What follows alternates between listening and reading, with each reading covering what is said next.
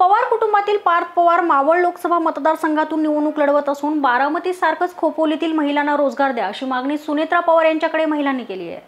मावळ लोकसभा मतदारसंघाचे उमेदवार पार्थ पवार यांच्या प्रचारानिमित्ताने सुनेत्रा पवार खोपोलीत आल्या होत्या. झोपडपट्टी विभागात जाऊन महिलांच्या समस्या त्यांनी जाणून घेतल्यात.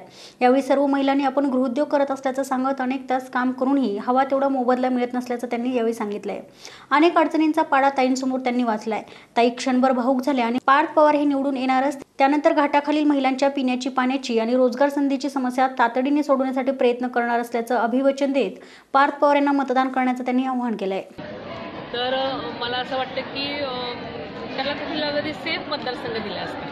आपल्याला माहिती आहे की मावळ मतदारसंघामध्ये आपले सहा विधानसभा गट आहेत. त्यापैकी एकच आमदार राष्ट्रवादीचा आहे.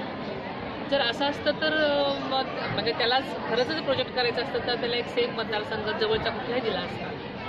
पण आपल्याला माहिती आहे की हा ही लोकांची मागणी होती म्हणून आपण त्याला उमेदवारी दिलेली आहे आदरणीय साहेबांनी. त्याच्यामुळे घराणेशाहीचा आरोप जरी होत असला तरी हा राजकीय स्टंट आहे.